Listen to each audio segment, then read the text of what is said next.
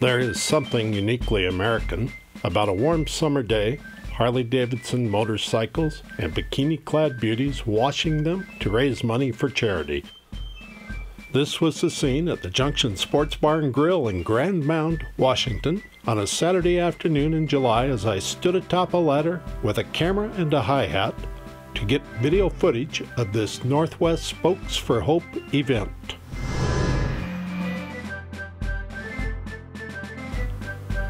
Standing atop a ladder for long periods gets very tiring. Wanting to give my aching leg muscles some welcome relief, I came down to try out my GoPro camera's new Steadicam.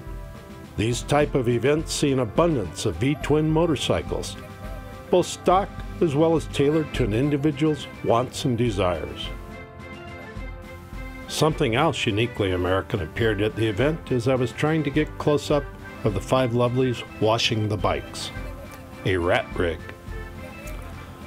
Not just your everyday rat rig either, but a BMW rat rig, powered by an airhead engine from an R90. Owning a land speed record set with a 1952 BMW, this bike got my immediate attention, and I hustled over the GoPro Steadicam to shoot it. Regretfully, time and location did not give me an opportunity to interview the owner, who had told me he built the rig. This welcome interlude with the R90 over, I returned to shooting footage of the bike wash. As you can see, shooting video is a tough job, but somebody has to do it.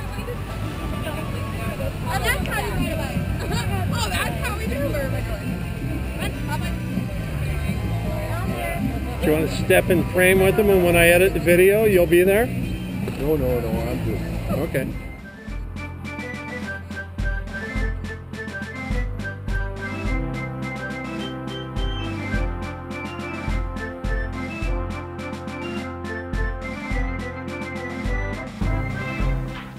One highlight of the day was meeting Buck, a retired Navy Chief Petty Officer, and getting to see the graphics on his ride. Shooting the breeze, we realized we had much in common.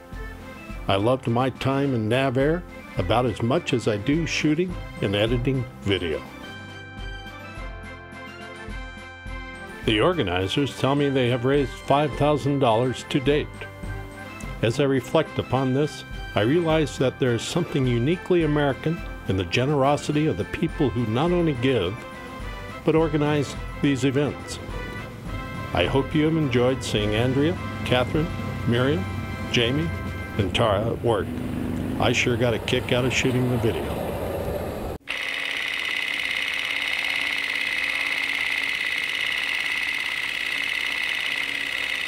Oh!